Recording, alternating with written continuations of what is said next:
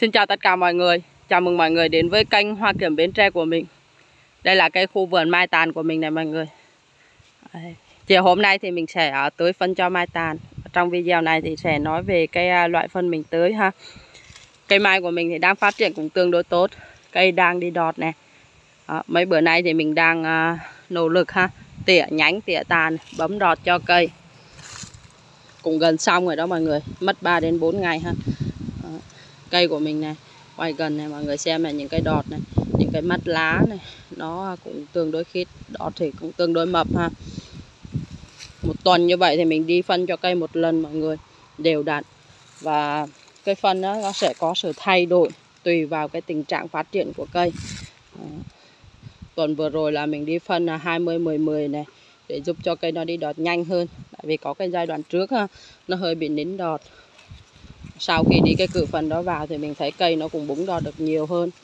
À, xịt thuốc vào thì lá nó cũng mượt hơn nở ra cũng to hơn. À, chăm sóc mai thì phải chăm sóc liên tục phân thuốc thường xuyên ha. Cây gì cũng vậy mọi người thì nó mới đẹp được. À, tuần này thì mình đi à, 3 số 17 mọi người. Tại vì cây của mình thì hiện tại nó đã lên đò được nhiều rồi cũng tương đối rồi. Và mình đi ba số 17 thì cây nó vừa đi đọt mà lại vừa mập đọt. À, 170 cây mai ha. Thì mình đi uh, hai cái rưỡi phân à, kết hợp với một hũ rừng rễ. À, ai mà theo dõi mình nhiều thì cũng uh, biết rồi cái loài rừng rễ mình hay sử dụng ha. Một hũ như vậy là nửa ký năm lạng á. Đó, thì tổng như vậy là 3 ký cho 170 cây mai. Nói chung là cái lượng phân đó, mình đi nó không có nhiều. Như vậy là ít đó tại vì uh, mình thấy có một số vườn á người ta đi cái lượng phân nó cao hơn 100 cây thì người ta có thể đi tới 2 kg 2 kg rưỡi rồi. Ở đây mình 170 cây mà đi có 2 kg rưỡi thôi ha. Thì cái cách chăm sóc đi phân thuốc đó là tùy vào cái thói quen và cách chăm của mọi người. Đó, ở đây thì mình sẽ nói về cái cách làm của mình thôi. Mình thì đều đặn như vậy là một tuần là mình đi một lần. Và phân thì có sự thay đổi nhá tùy theo cái tình trạng của cây. Đó, và tuần nào mình cũng có video để quay cho mọi người xem hết. Đó, mọi người có thể à, vào à, trong kênh của mình tham khảo thêm. Ngoài cái việc đi phân ra thì mình cũng thường xuyên xịt thuốc bỏ trị sâu cho cây này. Cây của mình này, có một thời gian đã bỏ bê, lo xuống bông lo làm kiểng, cho nên là không có xịt thuốc kịp thời này. Cộng với cái thời tiết nó mưa nhiều mọi người bị bỏ trị hút rồi này, thì cái này mình cũng đang nỗ lực để khắc phục. Và thế nay thì à, thấy cũng tương đối ổn định rồi.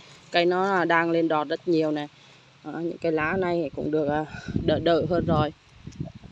Thời tiết mà mưa nhiều như thế này á mọi người. Bình thường 7 ngày mới xịt bỏ trị thì nay á phải à, uh, 5 ngày ha cũng là dày cự hơn. Đó, cái này cũng ok. Đây là mai vàng bình lợi nha mọi người.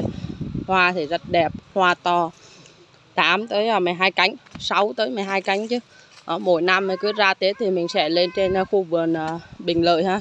Mình lựa một số gốc mai mình mua về mình chăm sóc mình làm hoa tết. Đó. cây này bữa trước vừa mới bấm vừa mới tỉa nhưng mà nay đọt nó xà tiếp đây này mọi người. Đó, cái này chắc phải bấm sửa lại tiếp.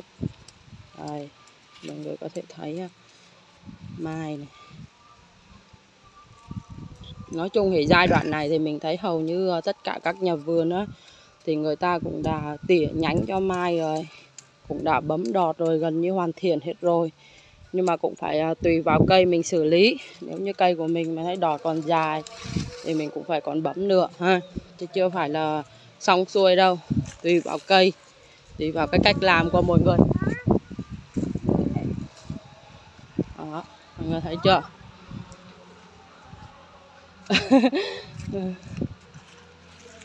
này mọi người à, có muốn mua mai thì có thể à, liên hệ với mình nhé cái này mình bán ship qua mạng được. Rồi, video của mình tới đây là kết thúc rồi. Cảm ơn mọi người đã quan tâm theo dõi ha. Hẹn gặp lại mọi người trong những video sau. Bye.